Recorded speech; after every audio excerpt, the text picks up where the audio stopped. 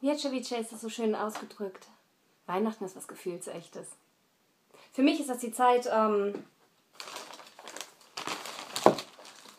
die Thriller-Elemente mal im Moment wegzupacken und an die Märchen zu denken. Geschenke einzupacken, mit den Kindern Kekse zu backen, Kakao trinken, das Haus schmücken. Einfach mit die schönste Zeit des Jahres. Und ich wünsche euch allen da draußen schöne Weihnachten, eine tolle Adventszeit, ganz viel Spaß und fantastische Geschichten. Macht's euch schön.